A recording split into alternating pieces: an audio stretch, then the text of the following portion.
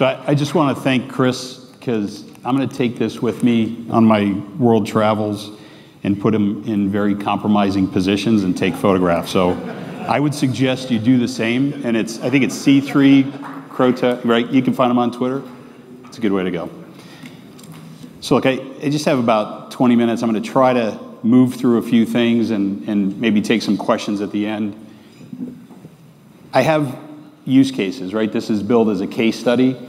What I really want to talk at the start of this is about what I see happening as driving the space, uh, how we've applied this. So, a week ago at this time, I was the vice president of manufacturing industries for GE Digital. Started as the CIO of advanced manufacturing a couple years prior to that, and uh, and as of Monday, uh, took the role of COO, a new role at Vuzix, uh, because I I think I think if you're not started, you're behind already. I mean, if you're not trying these things.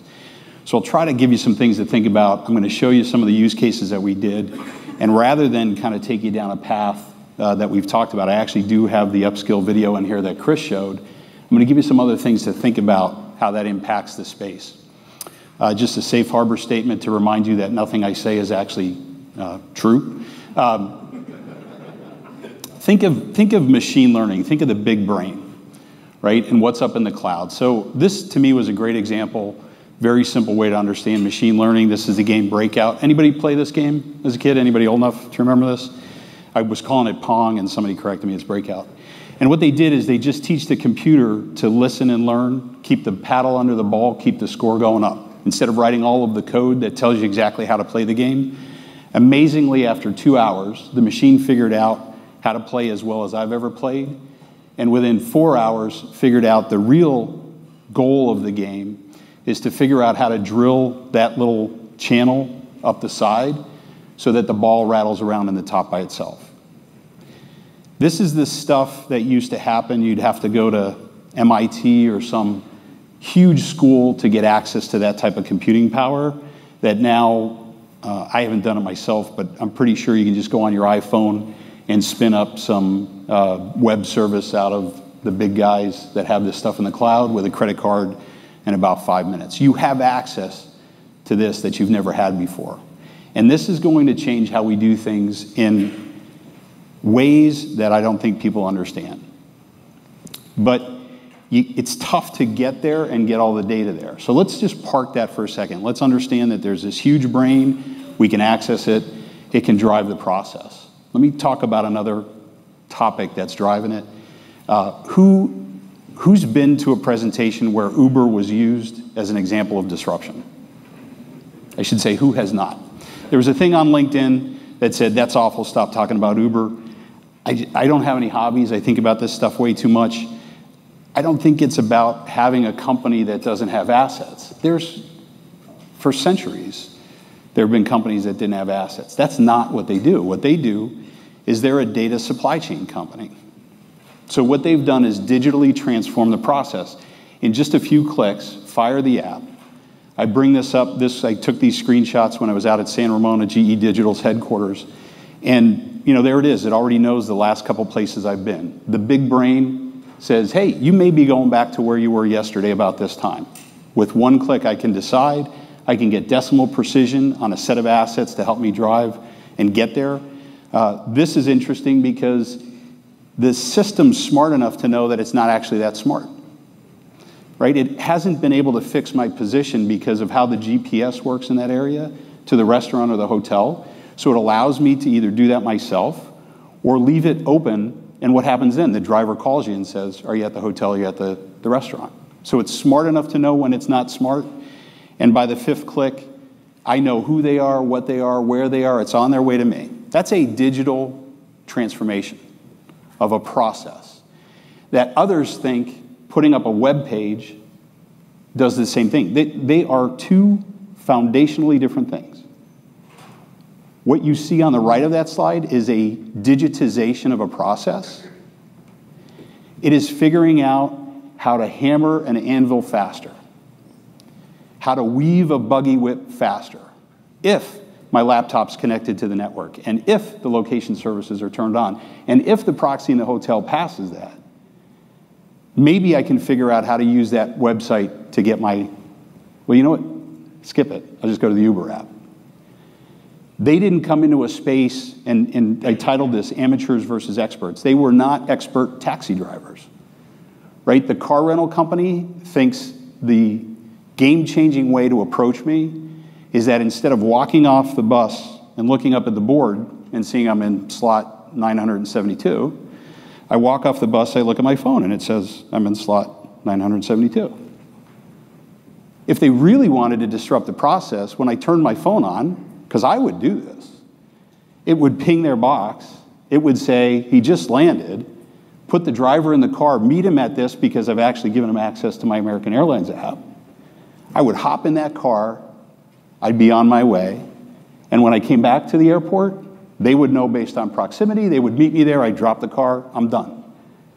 Here's what happens that rental car is one third of the price of taking an Uber between the airport and San Ramon.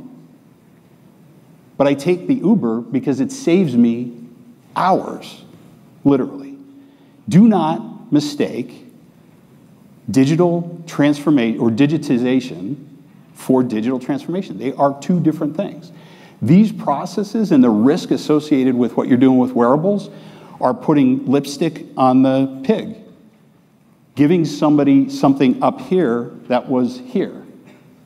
Now, that doesn't mean that didn't create value for the Taxi Association in San Ramon. It just means you should not kid yourself as to the respect of how that's going to impact the process. So I beat that horse. Here's another topic to think about. Andy McAfee did a great session at, the, uh, at Minds Machines a couple years ago. Two things he said that stuck with me. One, talked about uh, second half of the chessboard. They looked at the emergence of the internet and uh, Moore's law, and they figured around 2006, 2007, we got to the second half of the chessboard. The analogy is that we're in this exponential growth in the capability of technology. We're at a spot today. What are the science fiction shows on TV? A Western.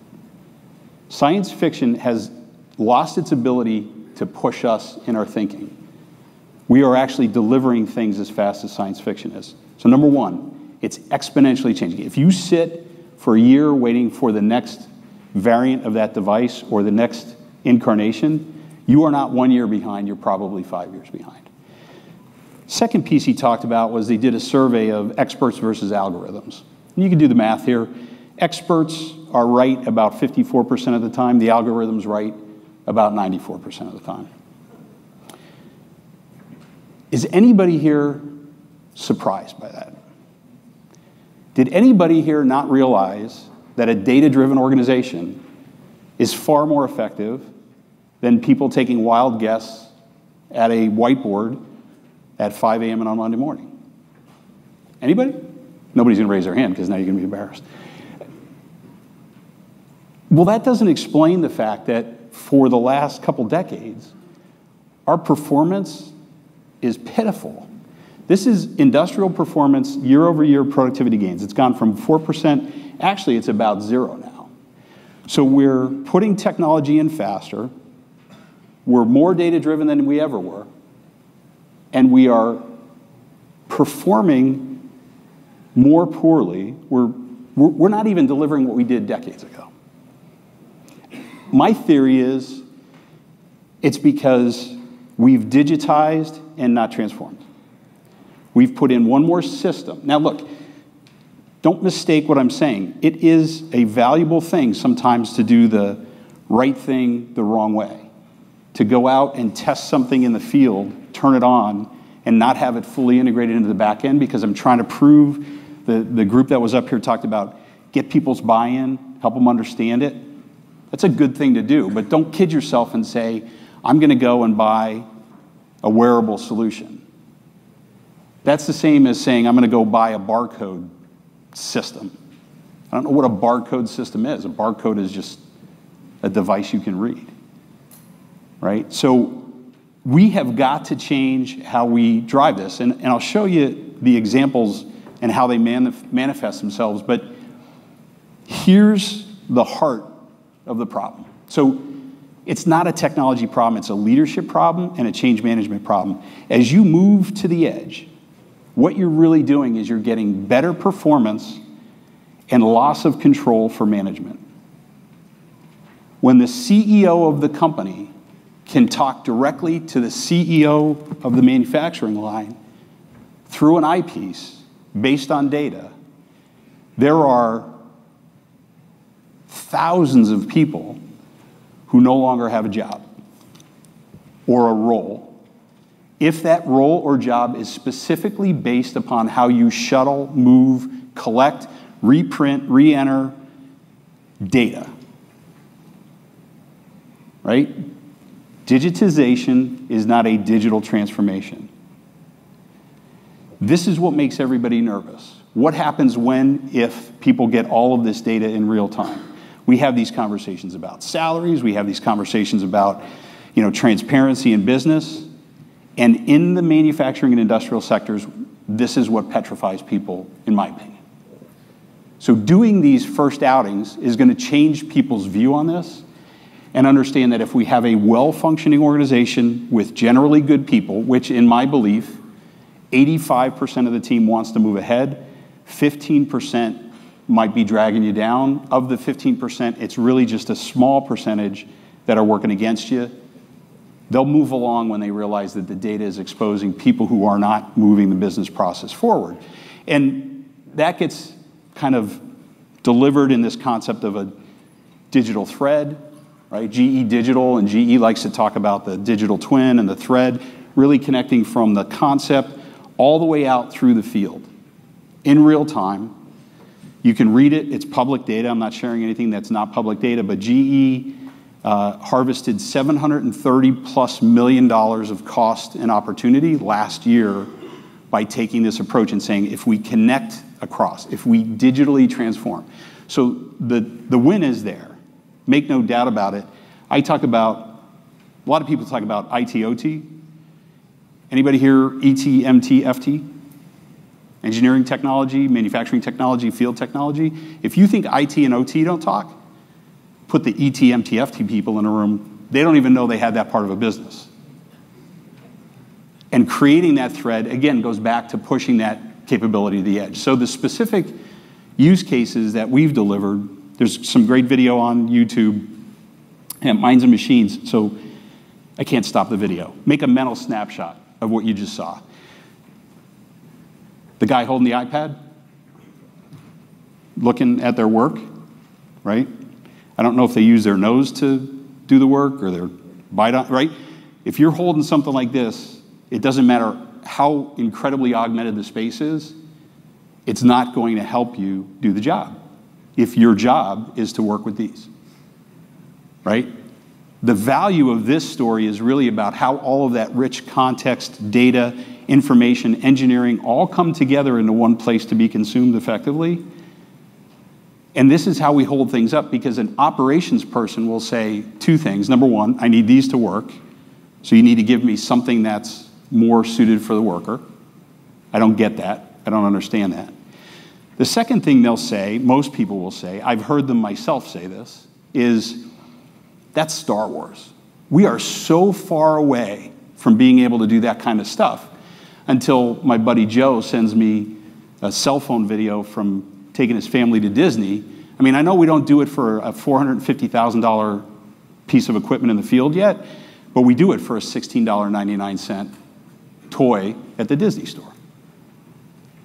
Again, it's not a technology problem, it's a use case that drives the transformation that gets built out very quickly so people understand how that vision of transformation gets executed at the front line. Now, careful. I'm going to show you a video here. It's just a minute. I'm not showing it to disparage anybody. It's very funny. It might not be terribly complimentary to these folks. But as people flood into a space, my background is manufacturing and operations. I started two weeks out of high school, got, a, got on a Martz bus out of Wilkes-Barre, Pennsylvania, went to my co-op at GM in Tarrytown. That's what I do. I understand operations, industry top to bottom.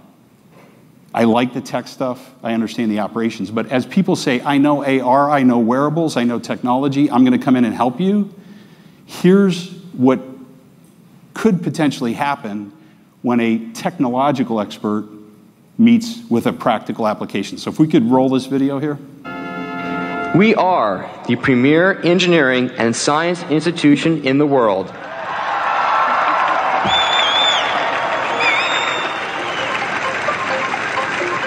Do you think you could light a bulb with a battery and wire? Do you think you could light a bulb with a battery and wire? Yeah. Light a bulb with a battery and a wire. Maybe. Yes. All right. Definitely. Do you think you can light a bulb with a battery and a wire? Battery and wire? Well, yes, why not? Okay. Definitely. Okay. Can you do that? The interesting part about the batteries and bulbs question is that people always predict that they can do it. Students say, Of course I can do this. Uh, any hints I should have here? Teachers say, Of course my students can do this. Ow! Do you know why that didn't work? I have no idea. Who's an engineer in here? Is that frightening or not? You could guess what school that is. I mean, these are brilliant people. They're not knowledgeable in this space. They don't have a practical knowledge, right? We have got to be careful that we don't end up going down the path of the battery and the bulb and saying, hey, look, I, I know it. It can't be that hard, right? Why can't you put your head in a bucket and lower you by straps into a tank with all this electronic gear? Well, it might be an explosive environment. That's not a good thing. We need to know that first. So consider how you do these things, but use the discussion and the process. So in GE Transportation, we did a bunch of projects when I was there. If you look in the small uh, panel to the upper right, there's some green and some blue. Because, and this is going back to the big brain, this is going back to connecting all the data, to transforming the process.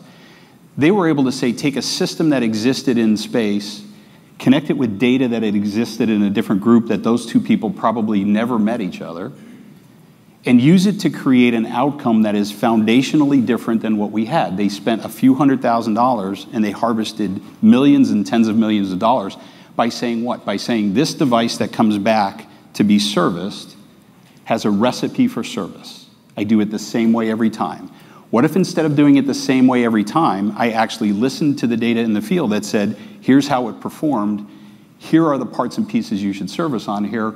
That one, don't even clean it, don't check it, don't refurb it, throw it away because it's 15% past its life. Use data from different sources. When you bring that data up into an eyepiece, you end up with what Chris showed around this Upskill video, right? So, anybody want to take a guess at the question and the first yeah, but I hear when we show this? Yeah, but after the fifth time of doing that job, does that operator really go back to the workbook every time? They don't have to do that. If he does that five days a week, 52 weeks a year, that's, he's not going to get 30%. Let's go back to transformation. What do companies want to do? Companies want to deliver personalization to each customer.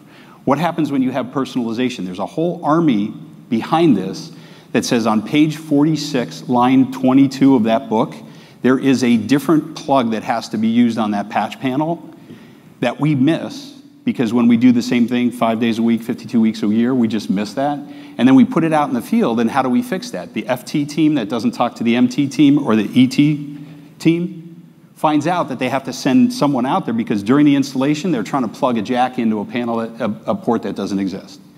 I can make every one of those panels different. And if you think 34% is a big gain in performance, you have no understanding of the gain that comes when you instrument and digitize, transform that entire chain of data. Go back to the Uber example. Uber, so I just remember this the other day. Uber does cars, they do food. Uh, a year and a half ago, I was sitting in my office in Michigan. My phone chirped and it said, Would you like the Christmas carolers from the University of Michigan to come to your site and sing Christmas carols? So they do Christmas carols. Imagine that business plan. Mr. CEO, I have a plan for a new business. It's going to do cars, food, Christmas carols. If you look up, they got a lot of heat, and I'm not diminishing the issues they're having. They got a lot of heat because there was a, I think it was a bank robbery. And if you read the story, everybody was trying to get out of an area because there was physical danger. So everybody hits Uber. They got dinged because they did surge pricing and people had to pay extra to get a car out of a dangerous area. I'm going, guys can't see the forest for the trees. They showed up before the first responders got there. And by the way, they re- the response, in my opinion, I shouldn't say this, it's being recorded. The response, in my opinion, should have been so you want me to come and pick you up from a dangerous situation, but you don't want to throw the extra 20 bucks on the bill. And you want to stand there and go, I don't know if it's worth 20 bucks. The guy's shooting. Should I pay the extra? Right? Everybody got so fixated on that noise. What they missed is that this business model, this data supply chain, this transformed model, actually delivered first responders to an area on demand before an entire set of infrastructure could do that. Think about how that changes a business. When you start to talk about these use cases in the warehouse, it's not just about the warehouse, it's about the eject button that Chris talked about. It's about inventory accuracy, right? When we talk about use cases like Airbus, it's about delivering new engineering data to an operator. It manifests itself in a 500% improvement in productivity because this particular task is being done completely differently. But imagine now every aircraft could be individually configured right now by a salesperson with a buyer who says that's actually on the chain out in the plant. We can actually make those changes live real time. What is that worth to a business as compared to saying, I'm not sure how long it's going to take, or our system doesn't allow that. Right? So think in terms of what happens when this collision of I can now hook to the people and the machines incredibly quickly and effectively. I can digitize every transaction in between and use the big brain. I use that infrastructure to transform my business model. Buffett was on Squawk Box or something the other morning, and he was talking about how Amazon really grew, one of the comments he made was they could harvest the value of infrastructure they didn't have to build by driving a different business model. You have the engineering system, you have the sales system, you have the manufacturing execution system, you have people putting things in, doing things in the field. You need to figure out how to test these things quickly. We, as providers, need to figure out how to make it easier to turn them on. And then you deliver the big gains. And if you want to see an organization move, you do this in two or three different spots. You expose it to the rest of the team, and the 85% says, We got to do this. We got to move. We got to get past the impediments. I think if you start with the vision, where is it that we're going to go? I, no, this became incredibly clear to me in my time at GE. No endless stream of random acts of brilliant, brilliance will coalesce into a strategy. Doesn't happen. You need to understand where you're going to go. And I'm not saying two years of definition and all kinds of, you know, terabytes of data on what we're doing to transform. We are going to be more effective in how we deliver this to our customers, and it will change our business this way. Underneath that is the value. How do we actually expose this? Where are the pillars in engineering, in manufacturing, in the field, whatever it is that we're doing? Now, underneath that are the tactics. And if you take this approach, because this is what will happen next.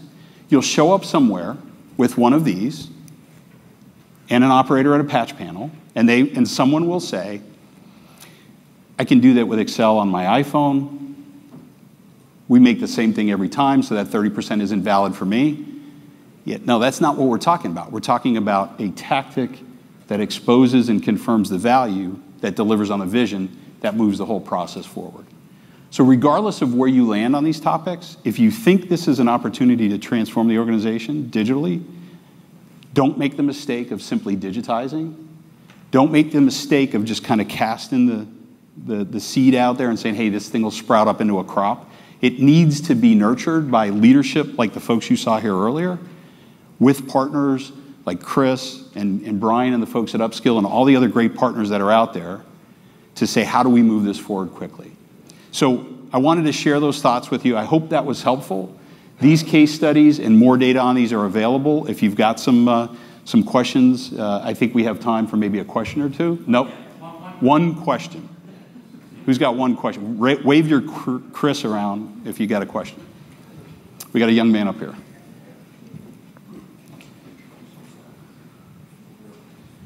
Yeah, hi, Cal from Practic. Thank you so much for your time. So, um, you mentioned the actual operation, but you don't mention the business model a lot. The biggest problem with uh, you know wearable technology is depreciation later down the time and the knowledge transfer. The more they learn, the less they rely on it. So, could you expand on different business models like hardware as a service? Data collection is very prominent when it comes to this, and it's coupled with SaaS companies. Is there a possibility that we can actually weigh that benefit, the ROI, and have it as hardware as a service? So full-time equivalent equals this much high. Oh, yeah. Okay. So as a service model, so the as a service model, uh, most people like to talk about it as computer, computing power, servers, hardware, whatever. The, the, and again, this is public information. I'm not sharing anything that's not public. GE did some work with uh, one of the oil and gas companies to do uh, clamping pressure as a service, a blow-off preventer. So everybody knows a blow-off preventer from the Deepwater Horizon. If it doesn't work right, it's got catastrophic consequences. And nobody wants a blow-off preventer. They want the clamping pressure.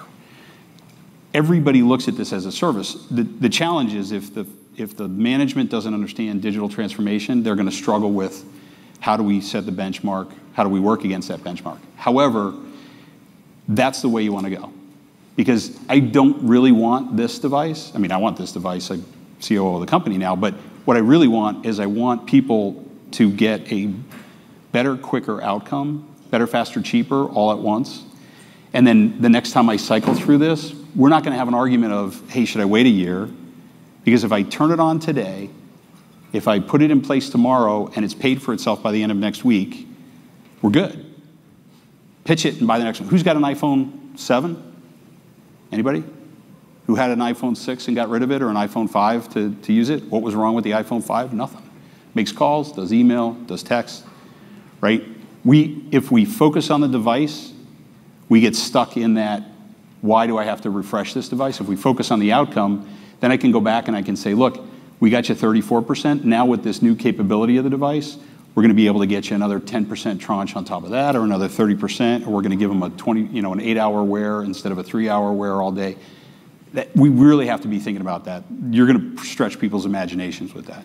So look, we're out of time. Thanks very much. I hope, hope this was helpful, and I appreciate you giving me the opportunity to share some ideas with you. Thanks.